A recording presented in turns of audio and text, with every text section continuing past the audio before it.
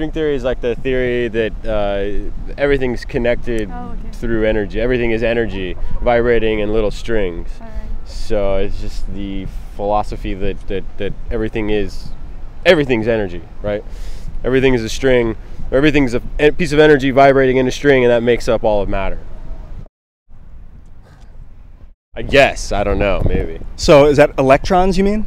Um, no, I think it's smaller than electrons. I think the electrons themselves are actually the the smallest, smallest, smallest thing that you could possibly get down to is is energy, and it's that energy that is that is uh, vibrating in, in in such a way that it makes up everything else, and everything else is built off of that. So why not perfect every time?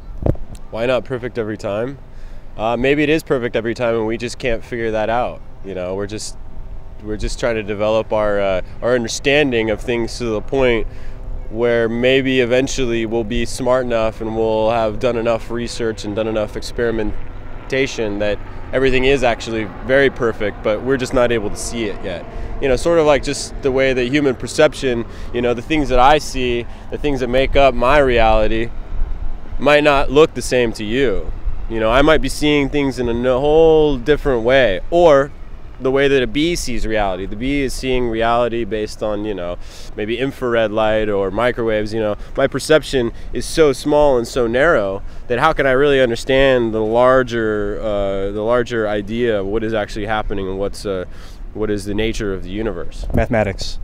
Mathematics, yeah, but even mathemat- even the human brain, I think, is very limited in what it can understand and how how it can use mathematics to explain what's happening in, in, in the world because we're really we're limited at this point by, by by our imaginations and by what we can understand and what we can comprehend. Because that's what I see the universe as sort of on its way to becoming more and more and more complex and that final complexity is where I see you know where I see God being there's this thing that is infinitely complex, and that's sort of the way the universe is on its way. We're getting more and more and more and more complex. I'm worried that something's going to happen and it's going to destroy it all, and all of that knowledge and all of that that wisdom might be taken away, and you know we'll have to start back at zero. Have you ever done LSD? Oh fuck yeah, I've done LSD. I've done pretty much everything you can uh, possibly imagine.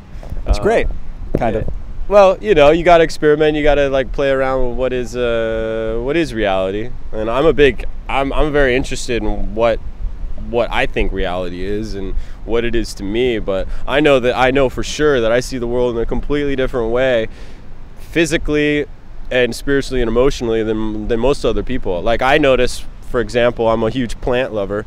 I notice plants more than anything. I notice the energy of plants, and I can't put that in specifically into words, but Do you think you understand string theory better as a result of taking LSD?